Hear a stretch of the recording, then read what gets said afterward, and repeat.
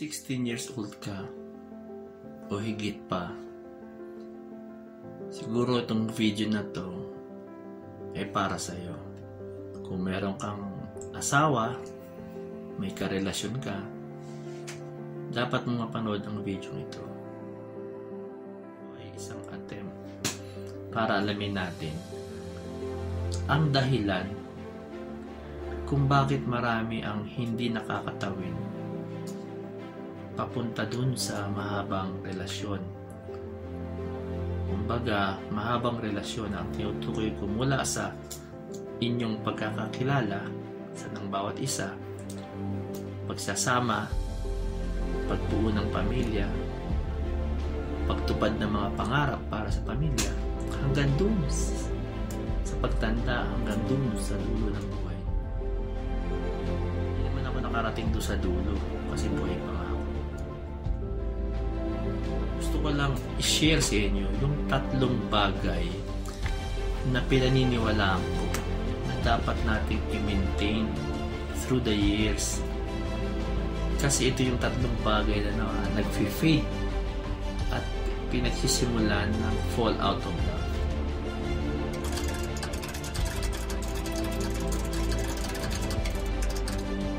Una, physical appearance. Ito yung itsura mo. Ito yung pag panlabas mong anyo. Ito yung mga bagay na meron ka kung bakit na-attract sa'yo yung partner mo. Diba? Nandyan yung hugis ng mukha mo, katawan, di ba? Amoy, di ba? So, ito yung mga bagay na saan pagkaanyo mo kung bakit na-attract sa'yo yung partner mo in the first place. So, ito yung bagay na dapat mong i-maintain sa loob ng relasyon nyo. Diba?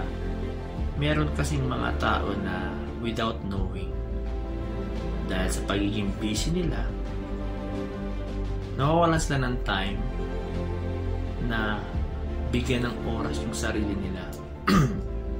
Mean, kung paano nila i-maintain yung pag-aalaga ng kutis, katawan, di ba? Ng amoy nila. So, yan yung mga bagay na nakakaligtaan natin minsan. So, kontento na tayo sa basta malinis tayo, di ba? Basta hindi tayo pamahayan ng germs. Kasi kung mag-fade yung physical appearance mo, although tayo, tumatanda tayo. Through the years, may mga bagay na nagbabago sa atin at mayroong mga bagay na unwanted pero nade-develop sa katawan natin. Kasi part ng pagtanda, kakaroon ka ng wrinkles, kum- kumukulubot ka, di ba? Nababawasan ngipin mo. Part ng pagtanda yun eh. Uh, uubos yung buhok mo kung lalaki ka. Sa babae naman, di ba? Uh, may mga bagay na nagsasalg sa'yo, di ba? So, kasi yung bagay na nakita sa'yo ng partner mo, kung mag-fade yan, at makita niya yan sa iba, no? Minsan, madali siyang ma-attract eh.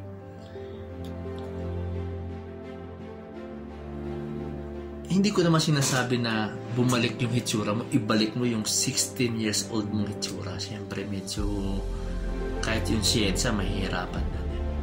So, ibig sabihin, i-maintain mo pa rin yung halos lahat na bagay na gustuhan sa'yo ng partner mo. Dahil siya rin mismo tumatanda din siya. Yung paano ka maglinis ng katawan, paano ka mag-exercise. Kailangan mo mag-exercise para kung papabayaan yung naman na para, rin na, para na rin yung sa kalusugan mo. Yung kutis mo, di ba? Kaya mo namang ano, i-maintain. Kumain ka ng sapat, matulog ka ng sapat, di ba? Bawasan mo yung bisyo mo. Di ba? Para nandun pa rin yung pangangatawang maayos. Kasi minsan, sa sobrang pagpapabaya mo sa katawan mo, yung itsura mo, mas matanda pa sa edad mo. Nagit niyo yon Yung bang tipong 40 years old ka, pero mukha ka ng 55. Di ba?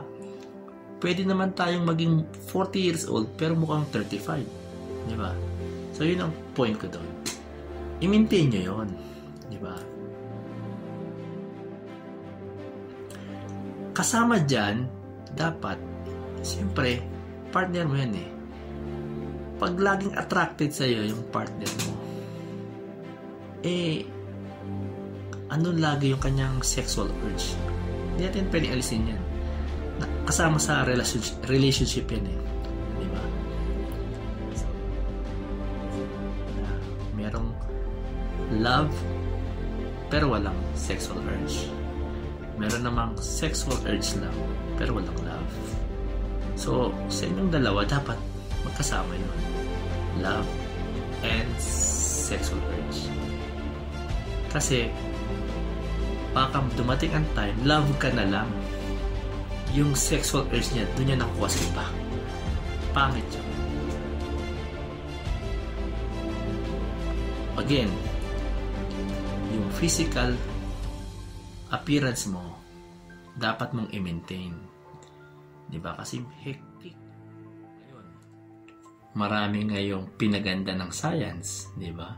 Medyo may tulugan laban natin dyan. So, kaya kailangan sumabay-sabay ka din. Uh, huwag mong pabayaan sarili mo.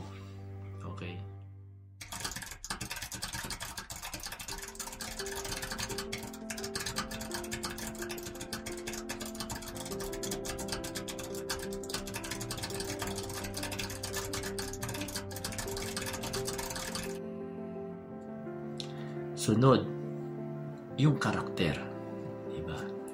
Ito rin yung pangalawang bagay na kung bakit na-attract sa'yo ang partner mo noon. Bukod sa na-attract siya physically sa'yo, sa itsura mo. Ito rin yung bagay na hinangaan niya sa'yo. Matalino ka, magaling ka mag-isip, logical ka mag-isip, strategic ka pagdating sa mga problema sa buhay. Alam mo yun, uh, may mga future plans ka, yung paniniwala mo sa Diyos, di ba? Kung ano man yung relihiyon mo, yung yung ugali mo, pakikitungo sa tao, kung ano yung mga pangarap mo, kung ano yung mga target mo sa buhay. Kailangan i-maintain mo pa rin yun. Yung mga ganong bagay. Kung ano nagbabago tayo ng mga plano, pero ganun ka pa rin dapat mag-isip. Hindi hindi yung ikaw yung unang-unang kinakikitaan ng kahinaan. Di ba? Kumbaga, na, nag-fade yung, ano mo, yung karakter mo. Yung ugali mo, nag-fade. Di ba? Diyan, lumalabas yung later on na nagiging katiwiran natin na hindi na kami compatible. So, diyan pumapasok yung term na yun eh. Hindi na kami compatible, di ba? Uh, minsan napupunan nyo sa mga celebrities, sa mga couples, no? Minsan mag-iisip ka, bakit siya iniwan? Mayaman, maganda, matalino,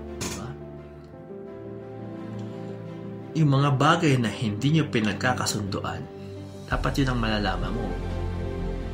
Kahit, kahit umag pa rin sa punto na hindi mo dapat kaya kung, kung ano yung gusto niya pagdating sa sa sex, di ba? Kailangan hanggang doon magkasunduan nyo.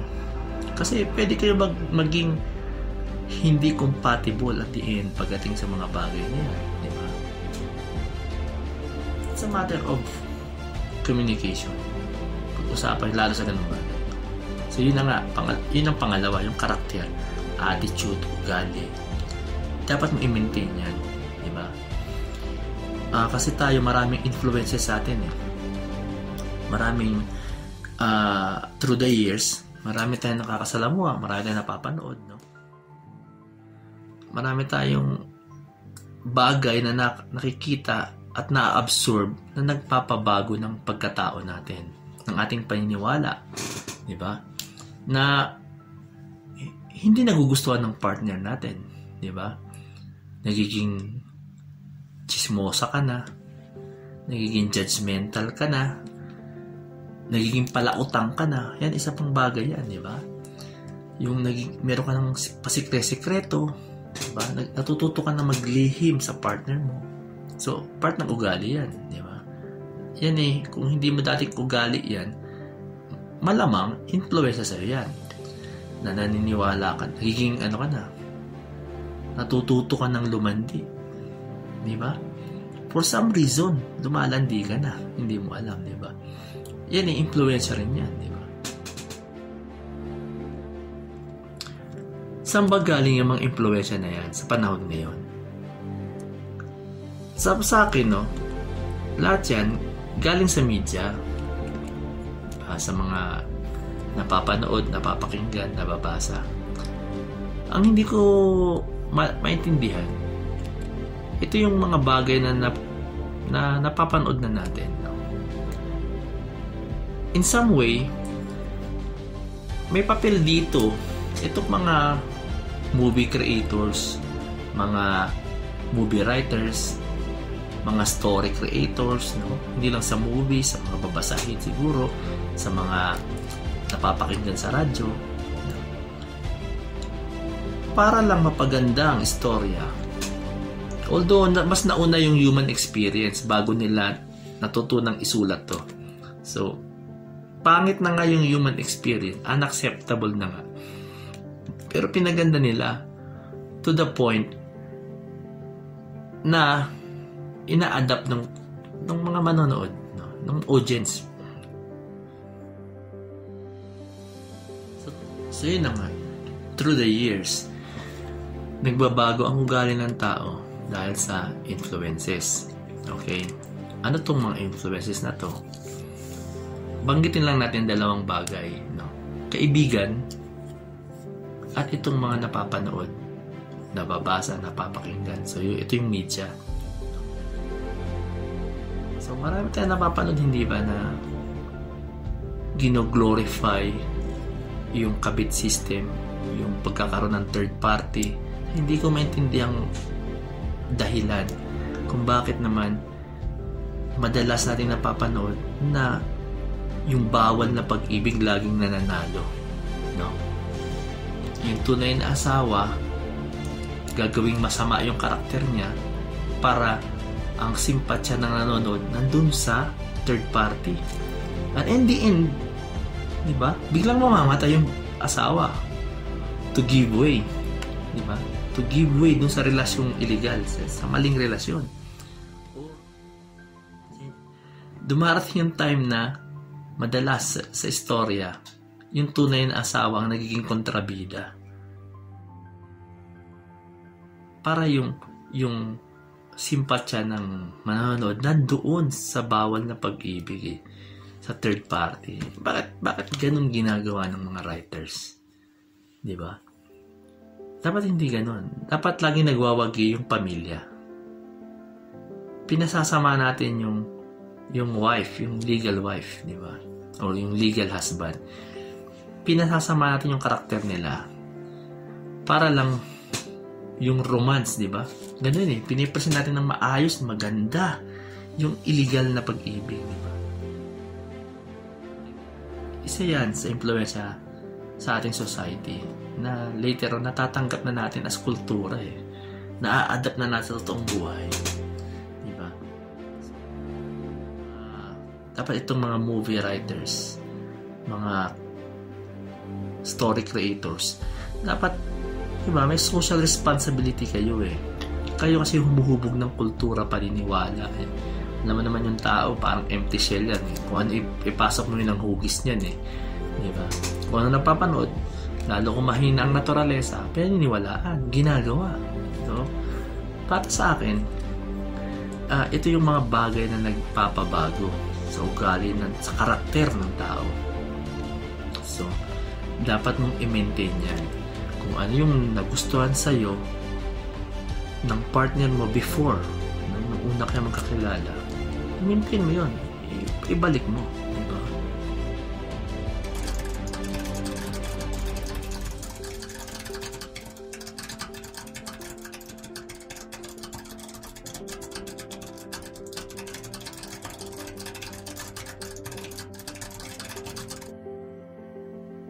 Pangatlo at huli, sa pinaniniwalaan kung dapat mong i-maintain, ay yung pagkakaroon mo ng pera.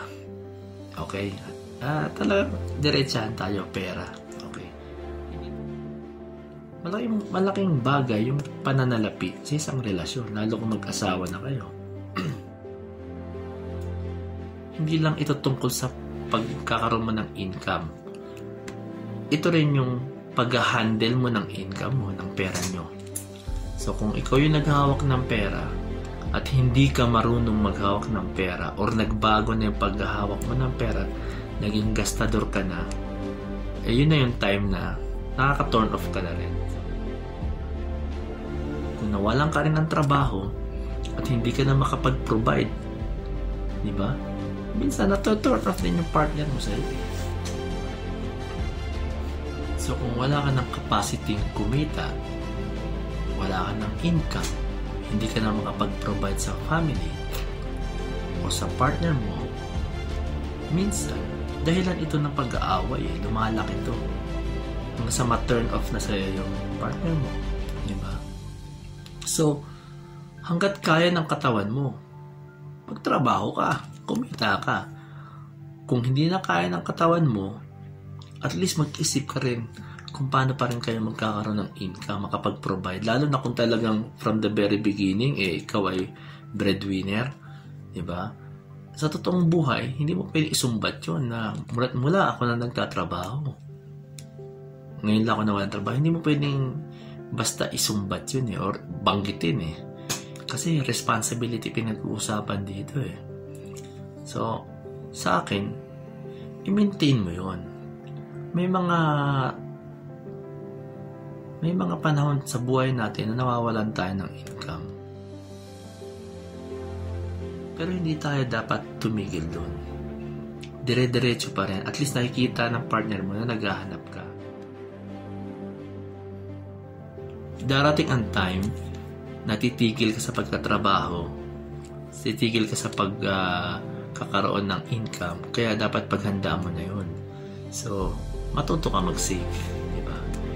Isang bagay na pinakamahirap gawin yung mag-save. So, next topic lang natin yan.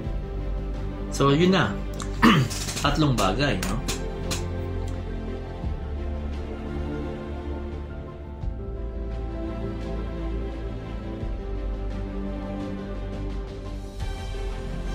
Physical appearance,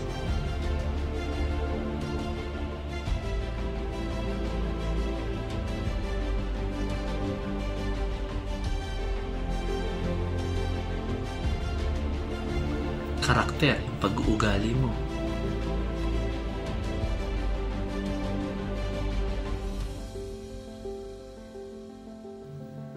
At yung pagkakaroon ng pera.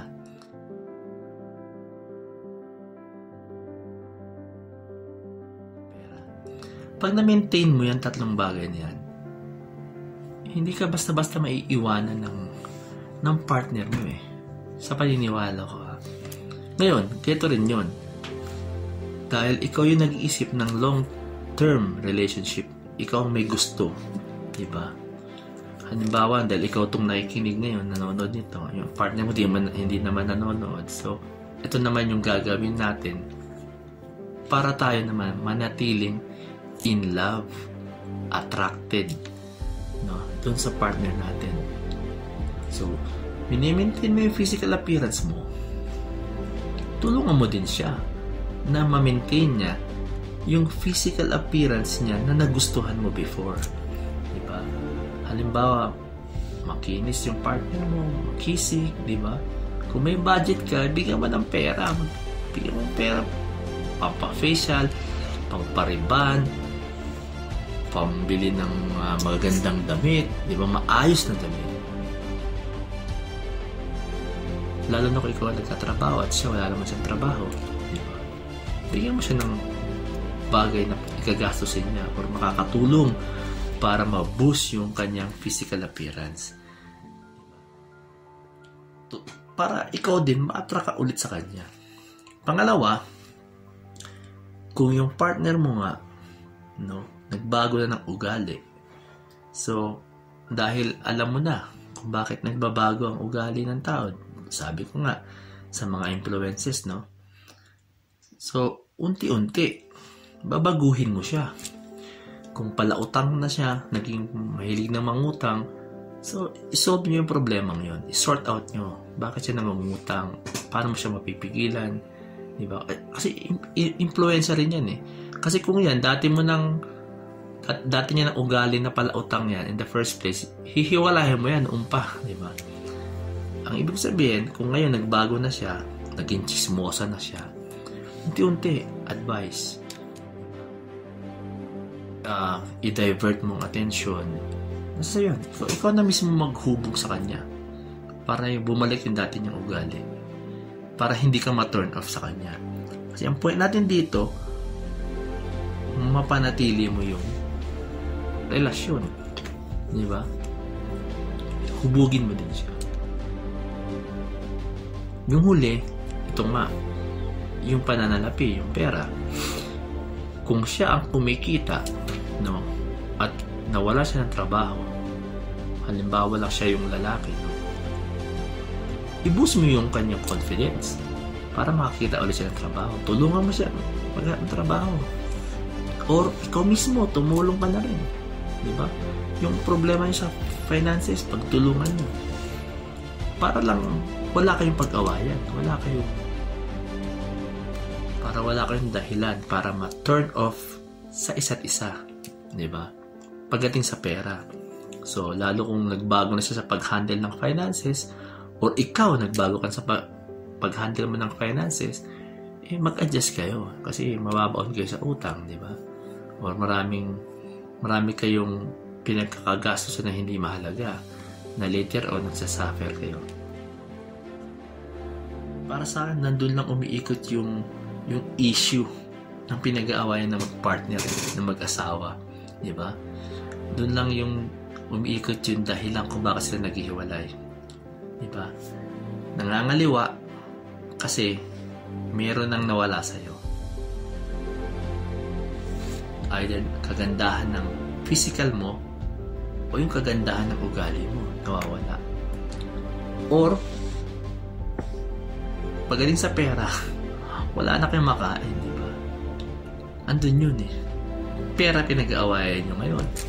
Hindi mo na kaya siyang suportahan. Natural, di ba? Walang taong gustong magutom, di ba? Kung ang partner mo ay nakastick pa rin sa iyo despite na wala yung tatlo, eh, swerte mo yon. Pero more often than not, di ba, laging naghihiwalay. Naghihiwalay dahil wala ng finances. Naghihiwalay dahil nagbago na ugali. Di ba? Naghihiwalay kasi nawala na yung sex appeal ng partner or nawala na physical na, na nagugustuhan niya. So, yun yun. So, para sa akin, doon lang umikot yun eh. I-analyze mo din, di ba? Kung ano yung pinag-aaway Sa ngayon, kung, kung medyo uh, on the rocks yung inyong pagsasama, i-analyze mo. Bakit naghanap siya ng iba? Bakit ikaw naghanap ka ng iba? Di ba? I-analyze mo. Ang, ang pinakaano natin dito, lalo kung may pamilya kayo, yung mga anak nyo, siyempre yun ang mintihin natin. Priority palagi yung future ng mga bata. Hindi natin dapat isipin na kung yung partner natin eh attracted sa ibang tao, eh ikaw din gaganti. Di ba? Maghahanap ka rin ng sayo. Parang may mali doon, di ba? Huwag mong bigyan ng kaligayahan, yung third party. Diba? Bawiin mo yung partner mo, yung asawa mo, yung boyfriend mo, yung girlfriend mo. Bawiin mo. Balik mo yung tatlong bagay na yan. Huwag mo siyang sabihin mo na huwag mong paniwalaan yung kung mahal mo palayain mo. Hindi yun. Sa libro lang yun. Kung mahal mo, huwag mong palayain. Kunin mo siya. Mahal mo nga eh. Ba't palalayain? panatilihin mo sa iyo at pasayahin mo. Huwag mo siyang bigyan ng traumatic experience. Ang ibig kong sabihin, huwag mo saktan. Kasi pag sinaktan mo, physically, natural, eh, kulong ka pa. Lalayasan ka talaga niyan, di ba? Nadaanan natin to kanina, di ba? Kung mahalaga yung tatlong bagay na yan, physical appearance, karakter, at pera, bakit may naghihiwalay na celebrities, no? Yung mayayaman na, maganda na, pinagpala na eh, mayaman, maganda, mabait, pero iniiwan pa rin ng partners nila. Kasi, hindi natin alam, dun yung pumapasok na, gaya sinabi ko kanina, yung hindi sila compatible. Ano yung incompatibility nila? Nandun pumapasok yun sa karakter.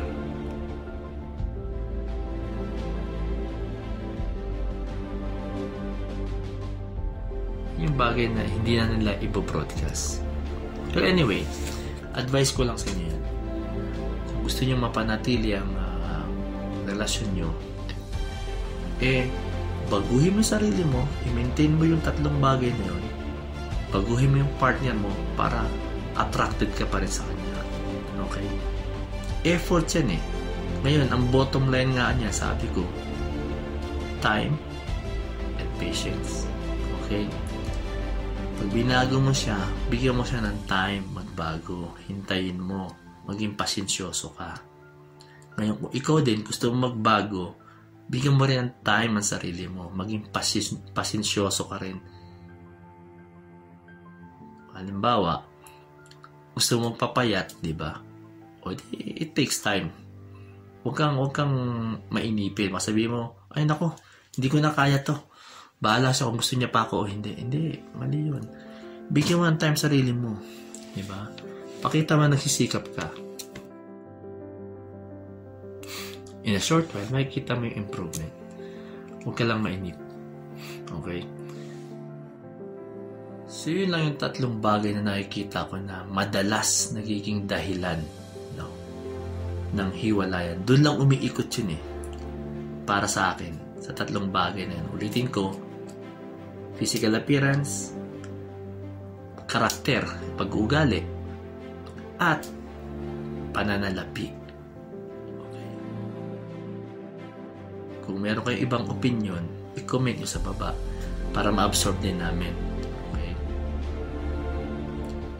So, sana kinapulutan nyo yung mga sinabi ko ng mga bagay na makatu- makakatulong sa inyo sa paghaba ng relasyon nyo sa pagpapabuti ng relasyon nyo. Again, so ini-invite ko kayo no, na mag-comment, mag-like, mag-subscribe sa channel na to. And then, next time around, ang isi-share ko na gusto kong pag-usapan, kung ito bang tatlong ito, kung ma-maintain mo, eh, applicable ba to sa long distance relationships? No, lalo na yung mag-asawa na ang isa nasa abroad, ang isa na iwan sa bahay. No? Tingnan natin, if, i-discuss ulit natin yan. Lalo pa ngayon sa panahon natin, no, maraming aswang, di ba? Yung nangaaswang, di ba? Pag-usapan natin. So, sige, uh, magkita-kita ulit tayo, no? Hanggang sa... O, sige, hanggang sa susunod na podcast, sana panoorin nyo yung susunod kong upload. Okay, maraming salamat!